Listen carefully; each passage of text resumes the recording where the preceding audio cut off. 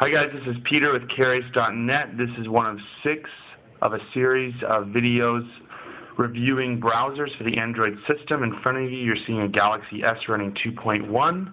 And in this video, we are going to review the Dolphin Browser HD, which you see in the top right. So let's jump in. As soon as you open it, you're going to notice that I'm already on a page. This is just for demonstration purposes. When you first install the browser, you're going to be at Dolphin's homepage, which gives you a default Google search bar, and then it's going to have all this regular stuff on top like the tabs. So let's take a look at this. At the top, you're going to see there's a home button to the left of the URL, a URL bar, a quick right there to do RSS on a page, or you have your refresh. At the top, you're going to see tabs, and your tabs are scrollable. So you can kind of throw them to the right, you can throw them to the left for quick scrolling. Um, Again, it's kind of like Chrome you, or Mozilla or any of the new browsers. You can push the little plus to create a new tab. Also on the new tab, which is a really nice feature, is your recently closed tabs. Um, most people will be familiar with this on pretty much any browser nowadays. They have your recent history on the bottom and then your bookmarks. So pretty intuitive, pretty great to have on a mobile phone. Uh, let's go back to just google.com. Okay, so now again, on this one, you're going to have swiping. So if you hold down and swipe to the right, you're going to see your bookmarks. Um, you're also going to see the opportunity to bookmark a page up there. You can go to your most visited. Again, back to bookmarks. Um, if you have more, this is going to be able to be scrollable down and up. My Dolphin isn't activated yet. I'm assuming it's going to be some kind of syncing between your laptop and desktop browser or at least just for you to do features on a bigger screen on your laptop or desktop. Again, it's not active yet, so let's go into Edit. This is going to bring up your bookmarks. Again, you can kind of scroll through. If you hold down on one, it gives you a couple options. Uh, as you can see here, pretty standard. What a nice one is add shortcut to home, so that'll add a shortcut icon to your home screen on Android, and then you can move that around. Pretty convenient. Uh, again, something that we'll talk about in a second is creating gestures for this URL. You can share it, copy it, delete it, and then set as your home page. So let's go back to here. Now on the bottom you have your most visited. Um, so you can see the most visited web pages. At the top right, if you just want to get back to your pages, you can click that little back button. Uh, going on, we have themes. Right now, I believe there's only blue, orange, and purple, with the default being green. Again, when you go back to the home screen, I'll show you kind of which parts change. As you can see on the bottom, those icons are blue, and that's pretty much what the themes do. They just change certain colors throughout the browser. One more tab is going to bring you to add-ons. Now, this is a cool feature that isn't available on a lot of browsers yet, but I know a lot of them are catching up to this. But essentially, you install add-ons at the moment, Dolphin has the most on the market that I saw. Uh, I installed YouTube and Wikipedia to just show you guys an example, and then the bookmarks to SD is really convenient just because if you switch phones, your phone dies. Uh, you can just reload Dolphin off of another phone with your same micro SD card, and it goes from there. You can also get more add-ons at the top. I believe that opens it up in a new browser page, but I would recommend just going to the market and searching for Dolphin HD to get this browser, I would also recommend going to the market and searching Dolphin Browser HD, only because if you search Dolphin or Dolphin HD, the actual browser is like the 30th uh, icon selection in the list down. So you have to scroll a ways to get to it. So again, search Dolphin Browser HD in the market to get that.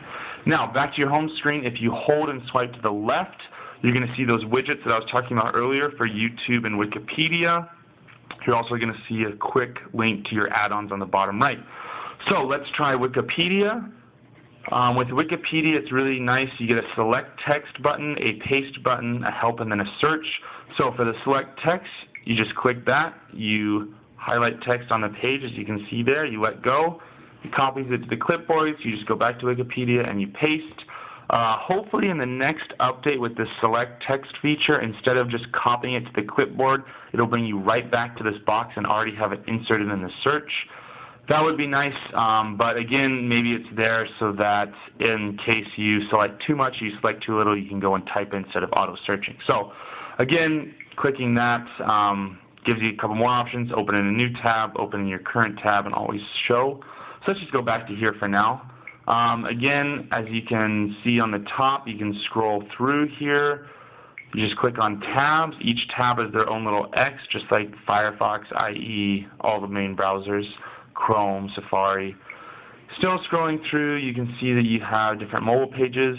Now these are all the mobile versions of these pages, but you can change the user agent in Dolphin HD, which I'll get to in a second, which is actually very convenient when viewing certain web pages because you have a couple options. But let's go to a full desktop page. As you can see, oh, we have we have flash kind of ads on the right um, that are going. Again, your you can do pinch zooming. Why?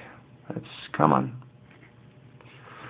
Okay, maybe this is going to be difficult for us. Let's click on a new link, see what it does. Uh, it does have pinch zooming. For some reason, it's being difficult right now. Uh, normally it doesn't do this, so don't take that as a face value. That's going to happen every time. Let's just rotate this real fast. Um, and again, the Wi-Fi connection is slow here, so don't hold that against me. Come on. Okay, well, I will show that at the end instead. Okay, next you have your gesture search. Now again, I just clicked, I'll show you again, that little hand that's pointing, you click on that. It brings you up to your gesture search, which most advanced Firefox people will know, or anyone who's installed that plugin that knows about it. So I've done a lowercase n for a new tab, and as you see, it says new tab, opens one up. Um, so you can get out of that. There we go. There's the pinch zooming. Okay. I don't know what was wrong with that earlier, but here we go. You can scroll all the way in. Again, with most browsers, you can double tap, and it'll scroll in until the text is legible. Scroll out again. Okay, so going back to that gesture search, um, in the bottom right, you'll notice a little gear, a pretty universal setting symbol. Let's click on that. Okay, so this will bring up your gesture options. Now, you can change where the gesture is by clicking here, so you can have it hide, be on the left or be on the right. Let's go back. Now down here, you can create a gesture. You can add a bookmark, back, forward. Um, again, these are all preloaded, and you can also click to edit. So let's say it's right here. So this is a Facebook gesture. Let's edit it. Let's do this, okay? So we draw a lowercase f, done. As you can see, it updates it right there in the picture. Now let's go back. It takes you right back to the gesture screen. Let's draw our lowercase f. And there we go, loading facebook.com. Really easy, really great feature to have on this guy. So let's get into the settings because this is getting kind of long. You click on your menu button. As you can see, it has stop, forward, exit, bookmarks, toolbar, and more. Toolbar is going to be when you hard swipe to the left. Your bookmarks is going to be when you hard swipe to the right. If you'd like to turn off those swipings, you can do that in the settings so that you can just go to these buttons instead if you don't like that. Also notice that the stop changed to refresh as soon as the page loaded, or as you can see, as soon as the page didn't load. Um, okay, so let's go to more. Again, same stuff that we saw in the other browsers of pretty much standard features in that. So let's go to our settings. Now our Dolphin settings, again, you can have your management. What's nice here is you can use your volume button to scroll. Again, here's that enabling swipe action that I talked about before. You can have a pinch to zoom button. So this option right here, use SD card with storage, you are going to have to install that add-on to be able to use that. So keep that in mind. Dolphin also offers a private browsing um, option. You can keep your screen on so it never times out. Here is the user agent that I was talking about. You have a choice of Android, desktop, or iPhone. Um, kind of really nice. Uh, if you're wondering why you would need iPhone, sometimes there's special giveaways or special downloads, but only for iPhone. So you can set your user agent to iPhone, go to those pages, and get those downloads as well, even if you don't have one. So uh, the next ones are all pretty, again, standard. Check to make sure it is a default browser. Make it your default browser. Clear your cache. Clear your history. Again, Dolphin HD is compatible with HTML5, and system settings is the same stuff you'll find with other um, browsers. Pretty standard. Your page content. Uh, your privacy, let's see, your security, and your advanced. So reset to default. Again, pretty standard stuff. One cool thing about uh, Dolphin is if you hold down the back button, you get these options to exit out of Dolphin browser.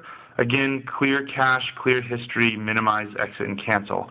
Um, so you can turn those off if you just want to always come to a fresh start page when you start it. I usually do, so I just click exit. You can also minimize. I would assume that it uses less um, background processing, but again, I haven't tested that with a piece of software to make sure. Um, it's running slow right now. Uh, we'll get into it later because I downloaded Fennec, which is Mozilla's new alpha browser, as you can see right there, and it's taking up some memory. So I uh, hope you enjoyed. Again, uh, read the full article for which browser you should be looking at based on your lifestyle, based on your needs from browsing. This is Peter with CareAce.net. If you have any more questions, we have live help on CareAce.net. 10 a.m. to 7 p.m. Monday through Friday. We're also on Twitter as CareAce, and if you're watching this on YouTube, this is our account, so shoot us a question if you have one, and leave a comment if I got something wrong or if you think there should be an update that I should do to the video. Thanks for watching, and make sure to tune in to the other four videos, or other five videos, excuse me. We'll, we'll be reviewing the stock browser, Opera Mini, Layer, Skyfire, and Fennec. Thanks.